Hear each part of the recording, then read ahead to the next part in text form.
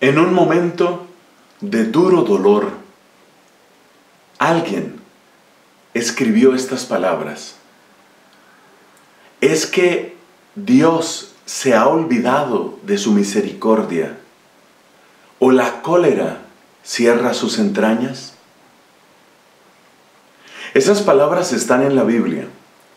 Pertenecen al Salmo 77. No tenemos certeza absoluta de quién las escribió. Muchos salmos se atribuyen de manera, diríamos, protocolaria a David o a Salomón o a los hijos de Coré. Pero lo importante no es el autor. De hecho, casi es mejor que no sepamos cuál es el autor. Porque así, tal vez nosotros mismos podemos reconocernos como autores de esa frase. Efectivamente, cuando pasamos por épocas realmente duras, estamos hablando de una enfermedad incurable, estamos hablando del secuestro de un ser querido, estamos hablando de los medios de tortura que utiliza el capitalismo hoy para destruir la paz en los corazones de los que tienen graves deudas. Estamos hablando de la persona que se siente traicionada por sus mejores amigos o tal vez por su cónyuge. En tales situaciones donde el dolor se acumula sobre el dolor que se acumula sobre el dolor, en tales situaciones, repito, es posible que lleguemos a decir palabras como esas. Parece que a Dios se le olvidó su misericordia. Parece que su ira pesa sobre nosotros. ¿Será eso? Porque no hay otro modo de entender cómo es que nos caen tantas desgracias. Yo sé que estas palabras parecen exageradas a algunos, pero piensa en los que realmente están sufriendo. Hace poco estaba viendo algunos reportajes espantosos de lo que está sucediendo en el norte de África, en Libia. Hay un mercado de esclavos así como se oye, seres humanos puestos a la venta para las labores más repugnantes, las más humillantes, las más crueles. Multitud de mujeres tratadas como cosas, como simples juguetes de placer y vendidas como si fueran de caucho, de plástico. Dime lo que siente esa persona. Dime lo que sienten los que están en países en guerra. Dime lo que siente el enfermo terminal, que lo único que encuentra como visita es un médico que quiere que éste termine de suicidarse, cosa que sucede en países como Bélgica, como Holanda.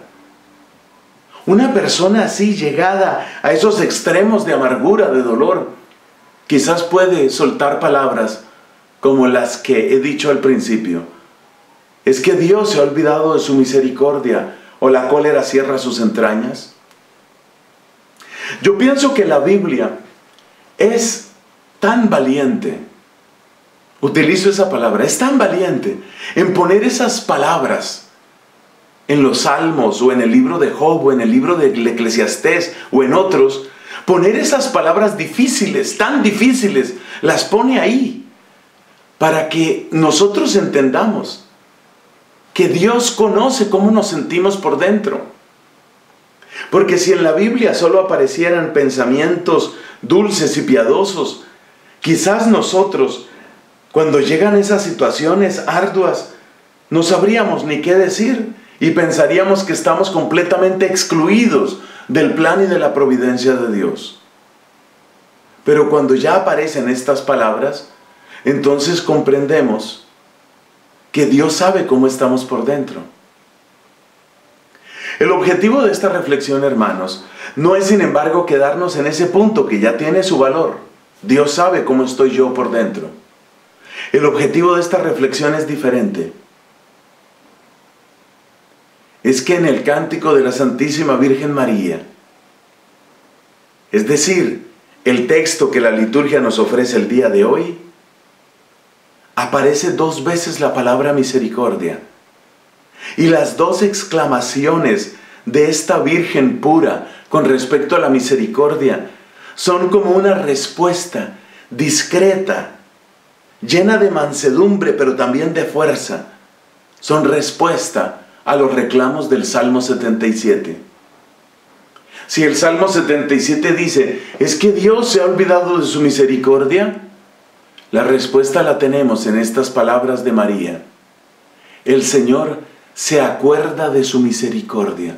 Se ha acordado de su misericordia en favor de Abraham y su descendencia por siempre. Así dice la segunda vez que aparece la palabra misericordia en el cántico de la Virgen. Y la primera vez dice, porque la misericordia del Señor llega, llega, llega a sus fieles de generación en generación. No es un puro afecto que se queda en Dios, es misericordia que llega, que llega, que toca, que transforma, que hace su obra. Siglos de silencio, siglos de dolor.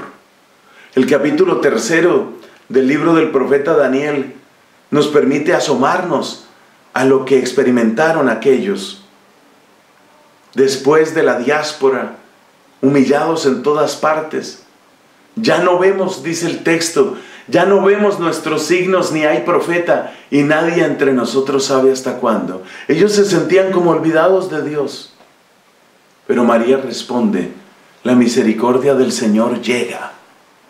Y responde María, el Señor se ha acordado de su misericordia. A mantener pues la fe, a unirnos a María la creyente y saber que sí hay respuesta para nuestro dolor no será exactamente en el momento en el que nosotros creemos, pensamos o deseamos, pero respuesta hay. Y es respuesta grande, tan grande, tan grande como el gozo de esta bendita doncella.